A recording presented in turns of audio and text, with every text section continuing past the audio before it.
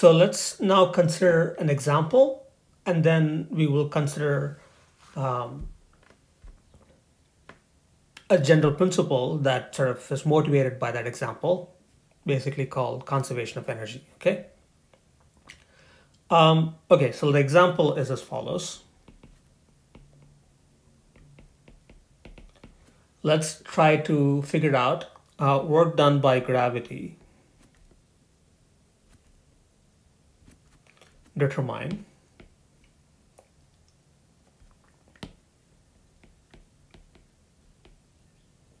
Work done by gravity um, on a point mass. Basically when I say point mass we mean particle.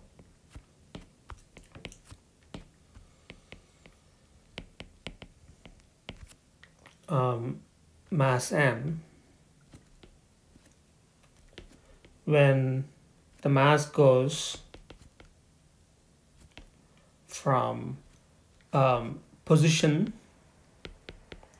this is now sort of a general 3D sort of problem, position vector Ri to position vector Rf, okay? That's the question.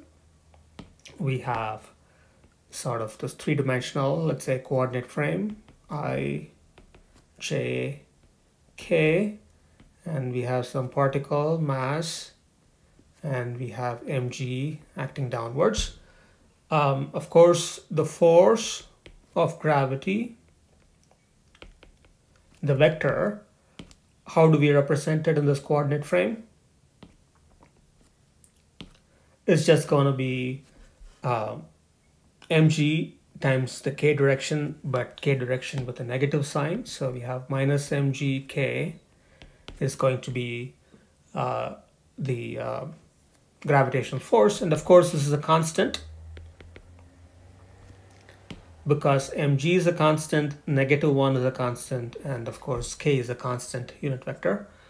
Um, so work done is given by, uh, we already saw what uh, the expression for work is for a constant force. Well, we can do that again, like basically it's f dot dx, but we already saw that if uh, you have a constant force, then um, the work done is basically force dotted with displacement, the vector displacement. Um, basically, it's F dotted with R final minus R initial.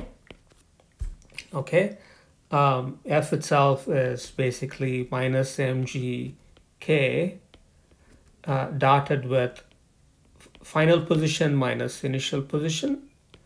Okay, now let's say the final position is uh, like basically the mass, let's say, is moving in some manner, right? So it's moving along this path um, and uh, its initial position is xi, yi, zi, and the final position is xf, yf, zf, okay? Let's say that's true.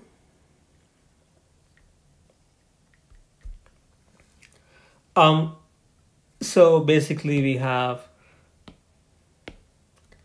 xfi plus yfj plus zfk and initial position, I suppose this is not a unit vector, is xi initial uh, times i plus yi j plus zik so when we take this dot product, what do we get? So work equals minus mgk dotted with, basically we have xf minus xi times i plus yf minus yij plus zf minus zik and if you take the dot product, you have a k here, you have ijk here, but the dot product basically means you have 0i plus 0j, and when you multiply the like i's and j's, we basically get 0 plus 0 minus mg zf minus zi. So that's basically your work done, okay? So work done by gravity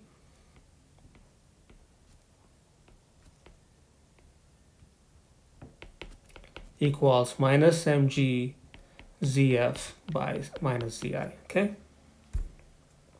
Let me put this on the next page. So what does this look like? Let me rearrange it. mg z initial minus mg z final is what that comes out to. Okay. So if a particle is going from some point to some other point, the work done by gravity is mg initial point uh, z, z value minus mg uh, z value at the final point, okay? So, so that's, we just derived an expression for the work done by gravity uh, and to use essentially a simpler term, because we sort of compute work done by gravity so often, people essentially made up a new term called potential energy. So we define potential energy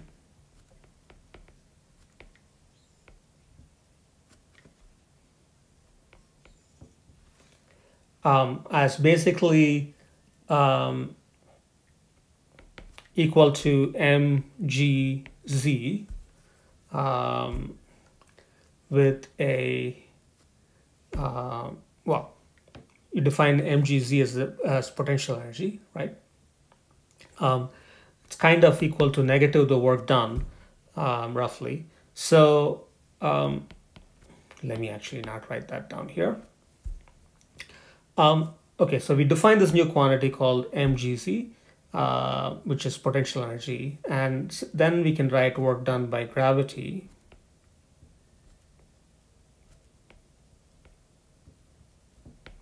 as well potential energy initial minus potential energy final or it's negative of potential energy final minus potential energy initial okay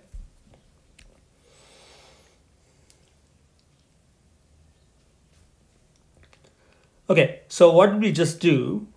We computed the work done by gravity. We found that it was equal to this expression, mg final, mg z, z initial minus mg z final, um, and then defined this quantity called potential energy for gravity, uh, and then rewrote the work done by gravity in terms of this potential energy, okay?